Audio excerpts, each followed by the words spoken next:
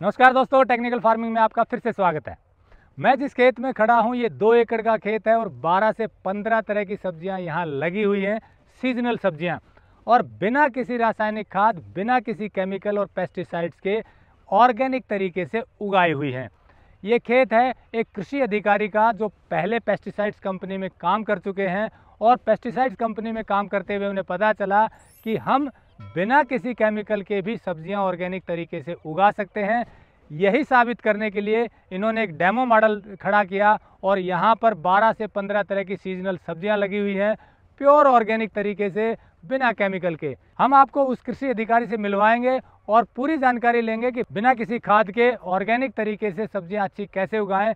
क्योंकि यदि हमने केमिकल डालना छोड़ दिया तो दो फ़ायदे होंगे। किसानों का खर्च कम होगा और उपभोक्ताओं को शुद्ध सब्ज़ियाँ मिलेंगी। हमारा भी यही उद्देश्य है कि किसानों का खर्च कम हो और उपभोक्ताओं को शुद्ध सब्ज़ियाँ मिलें। तो इंटरव्यू को पूरा ज़रूर देखें, जिससे दोनों का लाभ हो। नमस्कार किसान साथियों।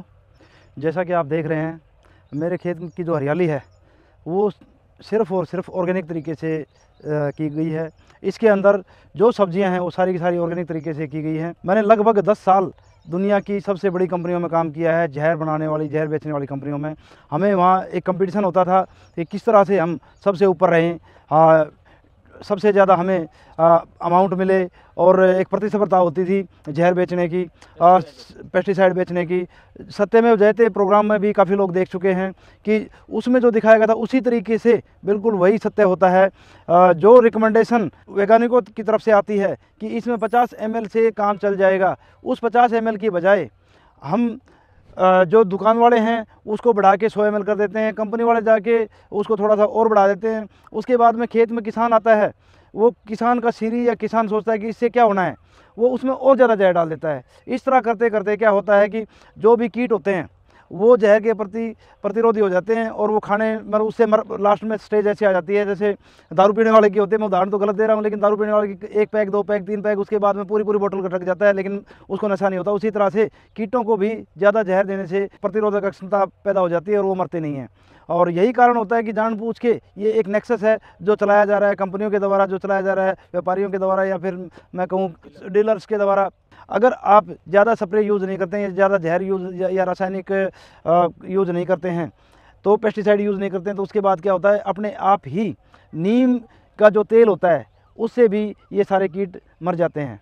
अगर हम बात करें जहर की तो उससे हमारे बहुत सारे मित्र कीट ऐसे होते हैं जो कि जहर से मर जाते हैं।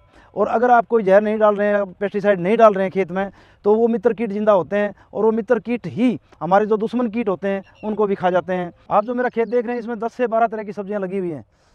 हमने देखा शुरू में सब कहते थे कि सब क्या मैंने तो अपने आँखों से देखा हुआ है, अपने दिमाग से काम किया है इसमें, क्योंकि जहर बनाने वाली कंपनी में काम करते हुए देखा था कि जिस जगह जहर कम यूज़ होता है, उस जगह कम से कम कीट आते हैं। और इसमें आप देखेंगे तो टोटली ऑर्गेनिक तरीके से ये सारा किया हुआ है। अगर बात करें तो जहर जिस जगह कम होगा ऑटोमेटिकली सब्जियों का जो टेस्ट है ना वो अच्छा आता है। बहुत सारे लोग कहते हैं कि बिना पेस्टिसाइड के और बिना रासायनिक खादों की खेती नहीं हो सकती, खासकर वो भी सब्जियों की। तो आप देख ही रहे मैंने किसी भी सूरत में, अपने खेत में एंट्री बैन कर रखी है। जिस तरह से ना तो रासायनिक खाद डालते हैं हम, गोबर की खाद डाली हुई है। उसके अलावा नीम ऑयल हमने डाला हुआ है। जब ज़्यादा सतर बढ़ जाता है कीड़ों का तब। और आप एक एक पौधे के पास घूम के मेरे खेत में आइए, देखिए। इसमें कहीं भी आपको अगर कोई नुकसान नज़र आता हो तो आप स्वयं देख सकते हैं। सिवाय खरबूजे में थोड़ा नुकसान हुआ, वो नुकसान 10 से 12 परसेंट हुआ है। उसका फ़ायदा ये हुआ कि इसके अंदर कीटनाशक नहीं डले हुए थे। मेरे कुछ साथी जिन्होंने किसी के माध्यम से आए थे गुड़गांव से, उन लोगों ने ले जाके लैब टेस्ट करवाया। तो लैब टेस्ट के अंदर कोई किसी भी प्रकार का रासायनिक खाद या जहर की कोई मात्रा नहीं पाई गई। और मेरे को बड़ी संतुष्टि हुई कि उन्होंने कहा कि इस सारे प्रोडक्ट को हम गुड़गांव के अंदर खपा सकते हैं या हमारे जो साथी हैं वो ले सकते हैं। मेरे को अच्छा दाम ऑफ़र करके गए हैं। उसके अलावा मेरे गाँव के जो साथी हैं या जो किसान भाई हैं या और गाँव वासी हैं वो भी इसको ऊँचे दाम पर ख़रीदने के लिए तैयार हैं। इस हिसाब से मेरे को लगता है मेरा जो इस सीज़न का है वो चार से पाँच लाख के आसपास का दोनों सीज़न का मिला के सात से आठ लाख की आमदनी मेरे को सारा खर्चा काट के हो जाएगी दोनों सीज़न में। दो लगभग दो एकड़ में।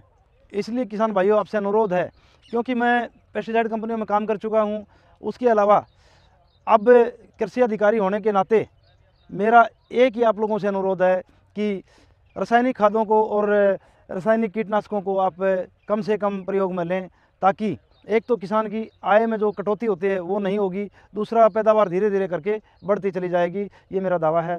और अगर आप इस तरह से कोई खेती करना चाहेंगे तो उसमें मेरी पूरी मदद होगी। इसके अलावा आप देखेंगे कि धीरे धीरे अपने लेवल पे आके अपने आप ही कीट का कंट्रोल होना शुरू हो जाता है और पैदावार भी बढ़ जाती है।